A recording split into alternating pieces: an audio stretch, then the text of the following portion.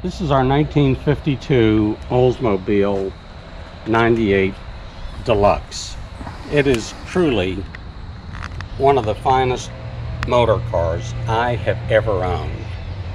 Uh, it has traveled 12,000 original, fully documented miles from new, and we'll get to that in, in a moment. It's finished in rare shoal green over swan white with uh, deluxe two-tone green interior which has never ever been exposed to the elements. It's been covered by the dealer installed Argyle seat covers from new. Uh,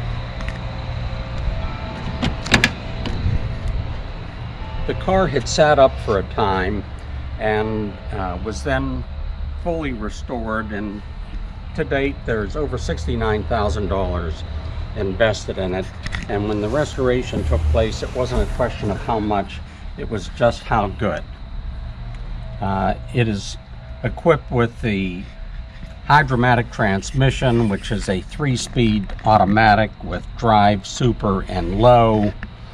Um, it has the rarest of the rare automatic watch built into the steering uh, horn column, uh, a factory compass, the deluxe push button AM radio, and every feature and function in the car, as you might expect, is fully operational. It comes with a full set of uh, instrumentation for temperature, fuel, amps, and oil, and all of that is fully functional.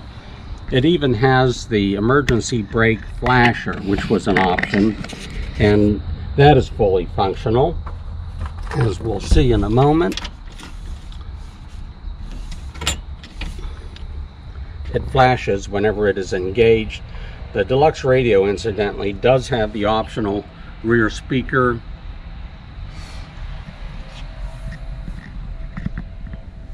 the interior is largely all original and to find one with the original factory documented or dealer documented Argyle seat covers uh, which have been on the car since 1952 is very very unusual. So the the original seating has never ever been exposed or or sat on.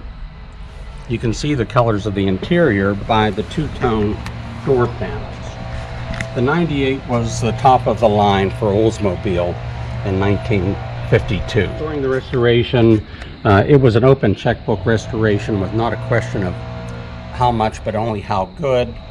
Uh, the uh, uh all of every piece of bright work was removed. Uh, the chrome, the stainless, the pot metal, and it was all professionally restored. Uh, as you can see, the door jambs were completely finished as well. All new rubber moldings uh, were installed because the originals were uh, were almost 70 years old and were very dry. The restoration has uh, garnered both an AACA junior and national, again which is fully documented.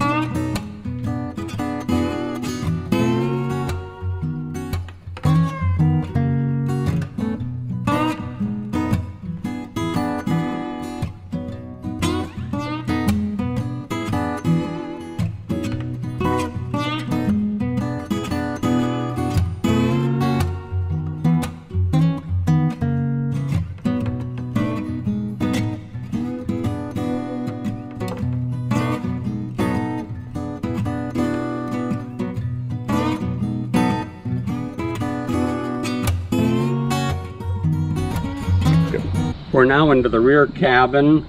Um, one of the nice one of the many nice features of the car are front and rear vent windows, which was kind of like factory air back then. So if you open both of those, you get a very comfortable, free-flowing breeze blowing through the entire car. There is a center armrest in there. Uh, front and rear cigar lighters, which are unused.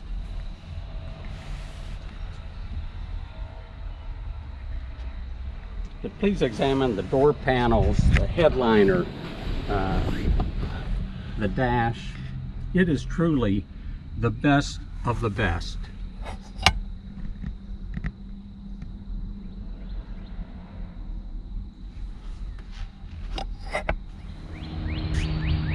Okay.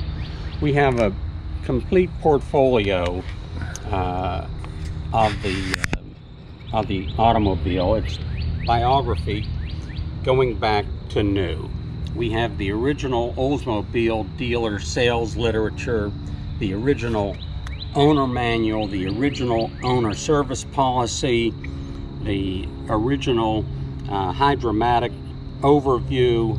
Uh, we have uh, door jams confirming mileage with the receipts. We have a handwritten overview of owner history along with documented mileage back to new.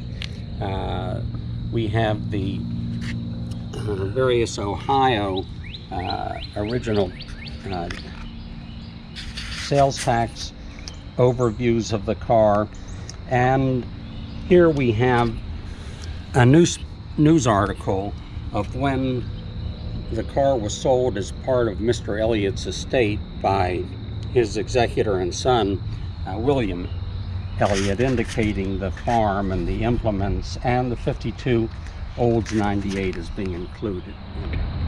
Options include the full disc wheel covers with the crested uh, Oldsmobile uh, centerpiece, uh, wide white wall tires, which are not the originals. Those are the Coker Classics, but are the correct width. Uh, white wall. Uh, it has the backup lamps, uh, the front and rear fender guards, chrome exhaust deflector, and the beautiful Oldsmobile crest or medallion on the trunk.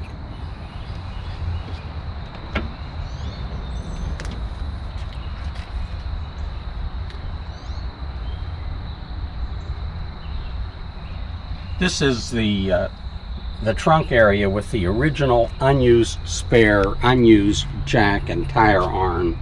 Um, I believe this material and the trunk is uh, is completely original um, and is in absolutely beautiful like new condition and as you can see the rubber molding around the trunk has all been replaced the fender welting during the restoration is fresh which confirms that during the restoration the fenders were removed.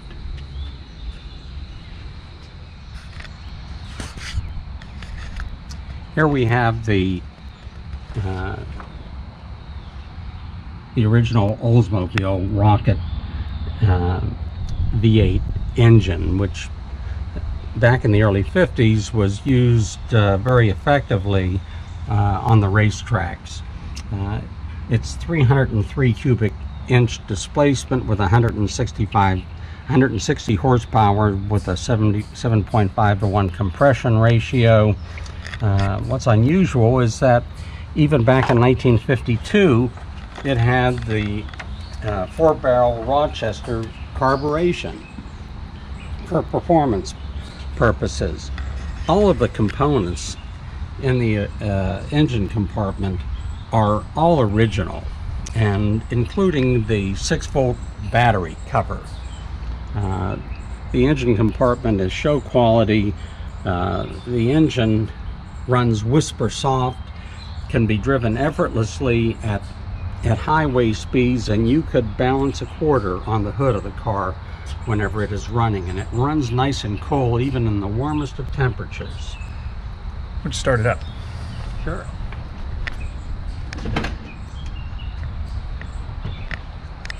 This car is so smooth. Unbelievably quiet.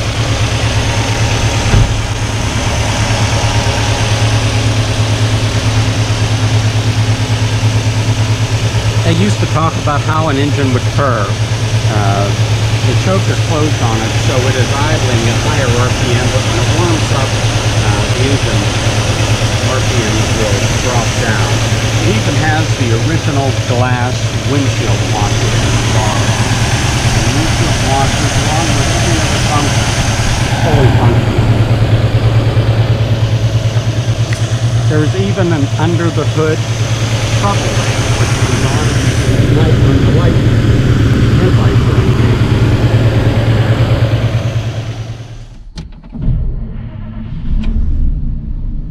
Oh my gosh, it's so smooth. And no seatbelts in this one. The other car needs a mm-hmm. seatbelt. Not it, it almost feels weird now, doesn't it? Yes. That you don't even use it. And drive, brake release. Be in driver super. I think I'm in drive. That would be super, I think. Okay. And that is that low gear, Yeah. and then reverse. Okay. The neutral. The first drop down is the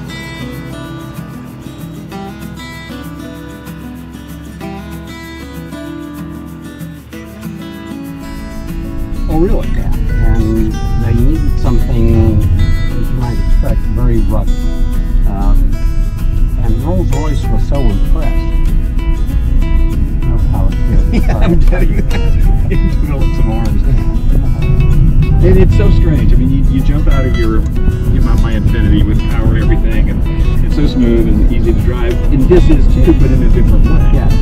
You just learn how to do it. And like the brakes. I mean,